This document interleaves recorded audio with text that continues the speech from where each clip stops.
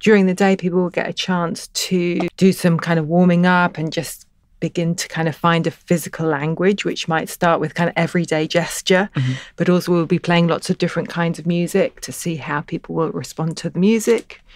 And then you're going to introduce a sort of creative practice, I think, into the dialogue and how that might inform broader thinking, but also how you think about performance and movement and how you construct a performance and movement or garment or like scale or shape or form from whatever's around you. It's not necessarily just for people who are think of themselves as performers. People will get a chance to kind of understand what your process is in terms of starting creation from a gesture, mm-hmm. whether mm-hmm. that's done through drawing something or cutting something out or yeah.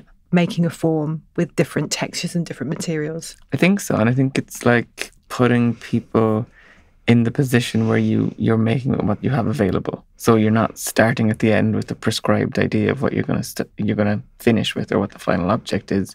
It's really about the process. So we're going to be exploring all of that and see what emerges.